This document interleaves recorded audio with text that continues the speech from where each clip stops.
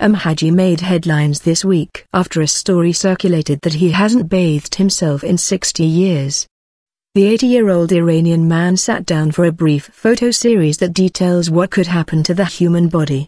Not surprisingly, Hadji has a deep odor and his skin is tough and scaly. Hadji is homeless and refuses to eat food or drink clean water.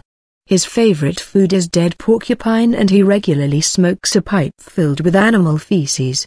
Hadji claims that he has chosen this lifestyle to stay in touch with with the earth.